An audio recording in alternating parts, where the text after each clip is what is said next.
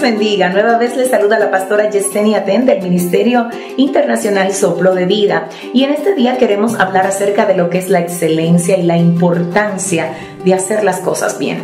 En el libro de Eclesiastés capítulo 9 verso 10 la Biblia nos dice que todo lo que te llegue a la mano hacer, hazlo según tu fuerza. Esto es interesante porque cuando vemos lo que es la palabra excelencia, la palabra se define como exceder y hacer las cosas fuera de la norma ordinaria.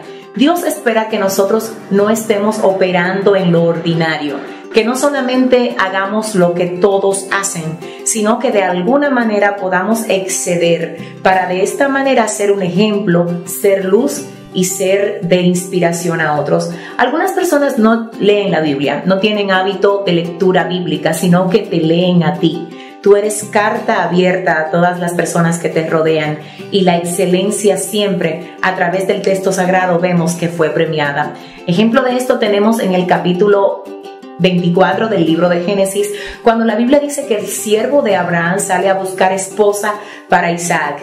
Él le pide una señal a Dios y le dice a aquella doncella, aquella mujer, que no solamente me ofrezca agua a mí, sino también agua para mis camellos. Esta será la mujer que tú eliges para mi señor Isaac.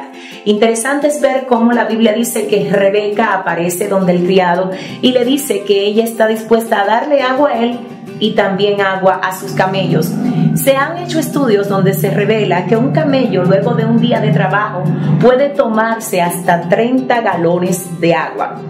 El siervo de Abraham tenía 10 camellos con él. Si Rebeca estaba ofreciéndose para sacar agua para los camellos, entonces podemos hacer un cálculo rápido de que 10 camellos por 30 galones de agua es igual a un número de 300 galones. Ella estaba dispuesta a sacar agua para el criado más 300 galones de agua para los camellos. Ella estaba dispuesta a exceder la norma de lo ordinario. Ah, luego de esto, entonces vemos cómo el Señor la premió por ese esfuerzo como el Señor la bendijo. Ella se postró todas esas veces para sacar agua siendo excelente y luego jamás tuvo que volver a hacer lo mismo. De igual modo, entonces, Dios te está probando a ti y Dios te está diciendo, haz más de lo que hace el resto. Haz exceder aquello que estás haciendo, haz que se note, haz que otros sean inspirados a través de lo que haces porque lo haces bien, porque sales de lo normal, porque no eres común. Sé excelente y hazlo